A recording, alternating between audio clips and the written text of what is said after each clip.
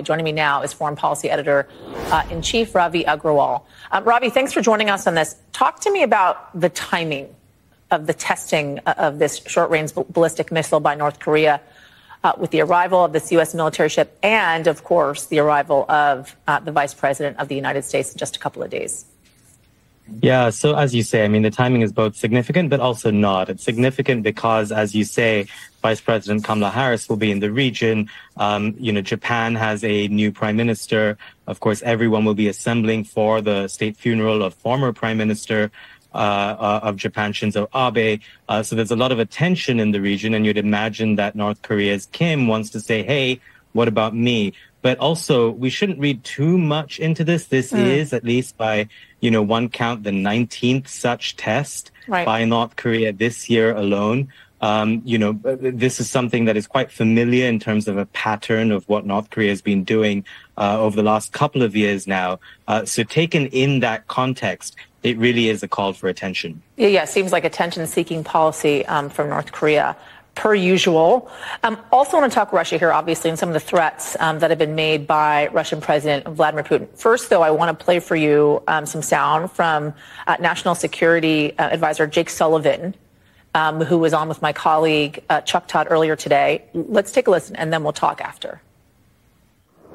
If he's publicly threatening nuclear weapons, why not send a public message, which I'm sure the people in, in Europe and, and Ukraine would like to hear, that says, you cross this line, uh, Katie bar the door, Mr. Putin. If Russia crosses this line, there will be catastrophic consequences for Russia. The United States will respond decisively. Now, in private channels, we have spelled out in greater detail exactly what that would mean.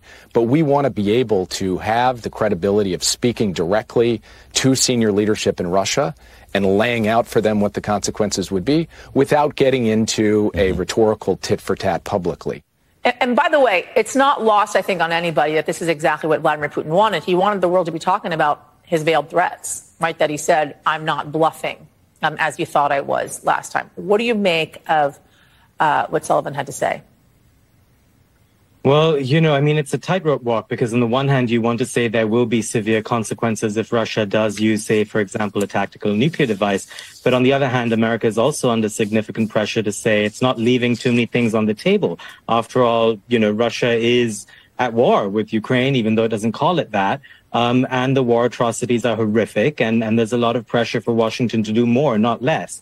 So it, it's it's a difficult sort of tight tightrope walk for for Jake Sullivan to walk there, but signaling, of course, that a you know nuclear escalation um, would be something that America would take very, very seriously. Um, privately, yes, indeed, there have been things discussed that um, they could roll out that would hurt Russia still further. But I think what is very significant here as well is what other countries may do. Um, over the last couple of weeks now, we've begun to see signs that China and India, for example, um, have been pressuring Putin behind the scenes to stop this war.